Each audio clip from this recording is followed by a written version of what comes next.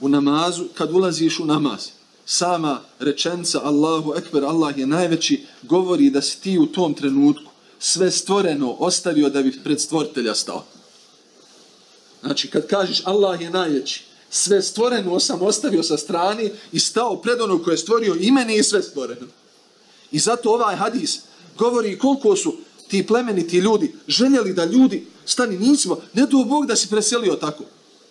Ne bi preselio na onom i na čemu je ostavio Allah Želešanu i na čemu je stvorio Muhammeda sallallahu alaihi sallam.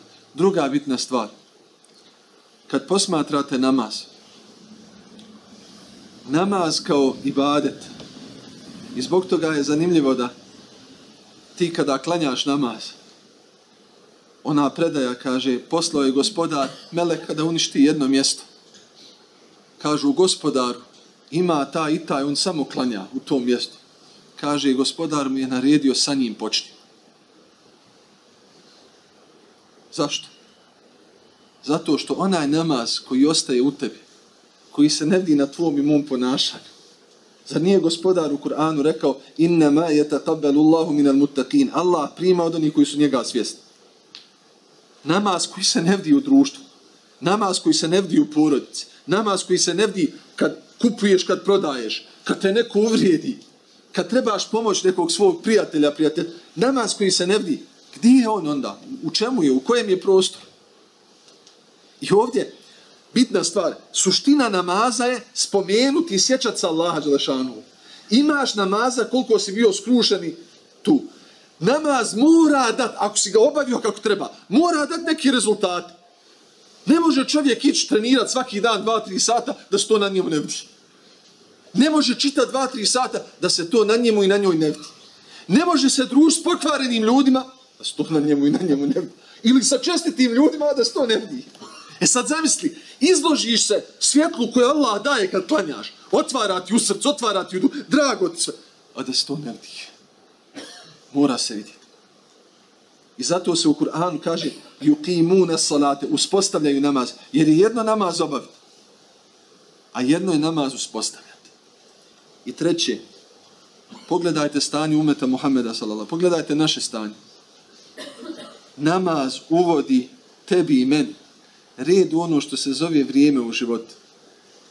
Kad klanjaš sabah na vakat, već ti se otvori bereket jutra i svjestan si koliko te Allah počasti, evo imam jutro. Pa prođe nešto dana, ti klanjaš podni, pa si svjestan činjenci da se napala dana, aman. sad u 12, nema u 4 akšam, je tako? Četiri, četrdeset.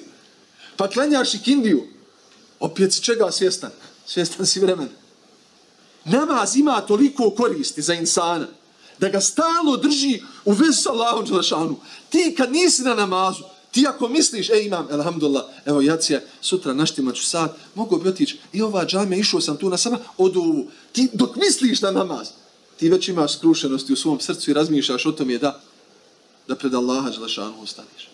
I ovdje, vrlo bitna stvar, namaz toliko odgaja dušu, da jedan od plementi ashaba, Abdullah ibn Zubeir spominje da je desilo mu se da ga je ujela škorpija u nogu i treba im odsjeći nogu. Kaže, da popi nešto vina. I gledam, započnije mjesec Rasulullah sallallahu alaihi vselem i nema ovim, po ovim najčitanijim medijima. Znaš, kaže, lijepo je pred spavanje čašu vina popiti. Tako mi dočekujemo, znate. I nije, nije stid, ba ljudi. Ovdje u tabački dolazio momak meni, plače ko malo dijete, kaže Hafize, najteži mi je trenutak kad sam morao stati pred svoga babu da brani majku jer je u pripitom stanju napao na moju majku. A ja, momčić, a promoviraju, da ne, njemu nije nikakav problem da to kaže. Kaže, de popi malo alkohola, vina, da se ono malo zanesvijesti da ti možemo odsjeći nogu. Kaže, ne. Kaže, ja ću stati pred Allah. Ja kad sam u namazu, ja sam Allahu ekber, ja sam pred Allahom. I kada završim, ja ću ispružiti nogu, tada je ocijeciti. I kaže, nije pustio glasa. Zamislite tak, takvu generaciju koju namaz odgaje.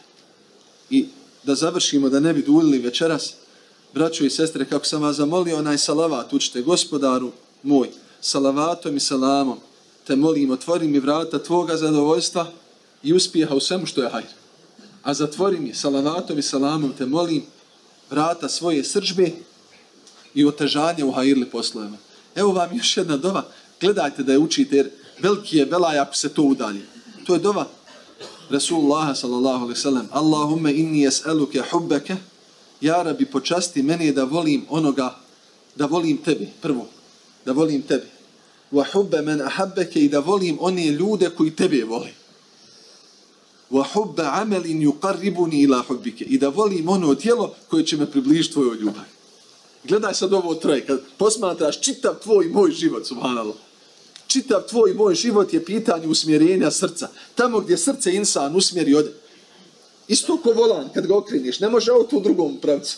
Ti si okrenuo, srce te okrenuo. Gospodaru moj, počasti me da tebe volim, da volim onoga ko tebe voli i da volim ono dijelo koje me približavate.